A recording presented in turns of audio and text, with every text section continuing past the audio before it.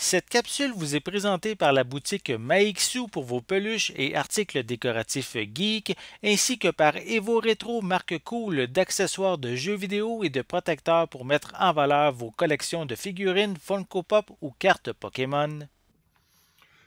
Hey, salut Techno, j'espère que tu vas bien. Je me présente Benoît Vincent pour une critique de film animation en format Blu-ray venant avec son propre code digital.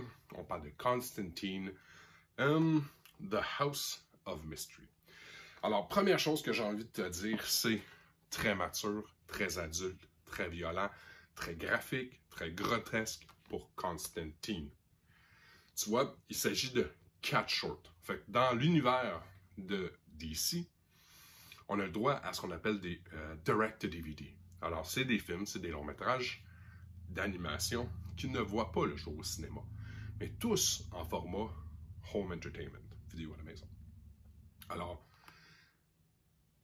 Constantine, c'est le résultat direct d'un des films qu'il y a eu. Je pense que c'est Flashpoint. Où est-ce qu'il est envoyé à la Maison des Mystères à perpétuité, à vivre, revivre et mourir par la main de ses amis? C'est ça la prémisse de l'histoire et comment est-ce qu'il va s'en faire. Pourquoi est-ce que j'ai aimé ça? Alors, un, comme je t'ai dit, c'est quatre shorts. On a euh, Constantine, on a Kamandi, le dernier garçon sur Terre, The Losers et Blue Beetle. C'est quatre shorts qui durent tout à peu près une demi-heure. Constantine dure un petit peu plus longtemps. Euh, on a quelques petits special features ici et là, mais on n'a pas mis l'accent là-dessus. On a surtout mis l'accent sur le fait qu'on présente des personnages qu'on est un petit peu moins habitué de voir. Euh, je, fais référence à Zatanna ou à The Demon, The Losers, Kamandi, a jamais personne qui a entendu parler de ça. Et pourtant, tellement hot la façon dont ils ont décidé de s'y prendre pour rendre hommage à Kirby.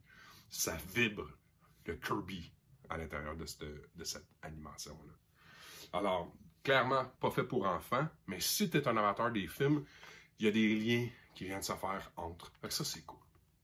Euh, les voice actors, euh, permets, je vais remettre mes lunettes, je suis pas sûr de bien te lire ça.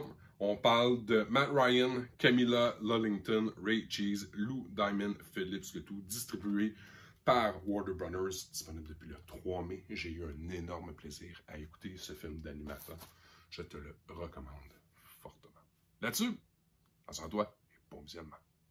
Cette capsule vous est présentée par la boutique Maixu pour vos peluches et articles décoratifs geek, ainsi que par Evo Retro, marque cool d'accessoires de jeux vidéo et de protecteurs pour mettre en valeur vos collections de figurines Funko Pop ou cartes Pokémon.